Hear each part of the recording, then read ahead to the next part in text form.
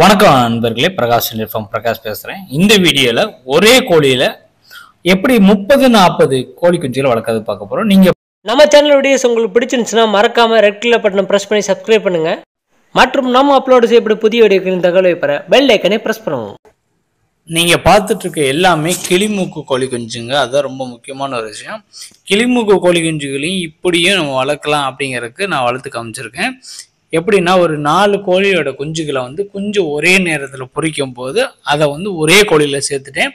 அப்படி சேர்க்கும் போது கண்டிப்பாக சேர்த்துக்கும். ஒன் ஒன் ஆர் டூ டேஸில் வந்து ஒன்றா பொறிச்சுன்னா எத்தனை கோழி குஞ்சுனாலும் கோழி சேர்த்துக்கும். இதில் இன்னும் ஒரு விஷயம்னா கோழி குஞ்சுகளை அதிகமாக சேர்க்கும் போது பெரிய கோழியை பார்த்து நீங்கள் சேர்த்துட்டீங்கன்னா அந்த கோழி வந்து வெயிட் அதிகமாக இருக்க பட்சத்தில் வந்து கோழி குஞ்சுகளை மிதித்து கோழி குஞ்சு இறந்து போயிடும். அதனால நீங்கள் எந்த கோழியில் சேர்க்குறீங்கிறது ரொம்ப ரொம்ப முக்கியமான விஷயம்.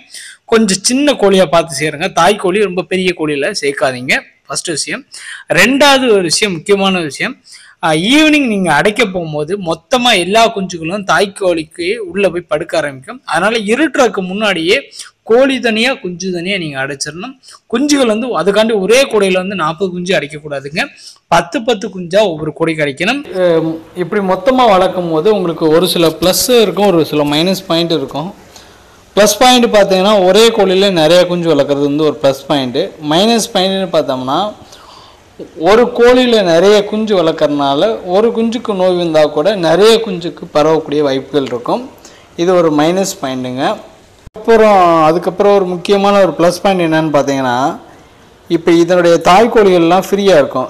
மறுபடியும் சீக்கிரமாகவே முட்டைக்கு வந்துடும் ஏன்னா ஒரே கோழி தானே உடக்குது மீதி மூணு கோழி ஃப்ரீ தானேங்க. அப்போ சீக்கிரமாக முட்டைக்கு வரும் அப்போ ப்ரொடக்ஷன் இன்க்ரீஸ் ஆகும்.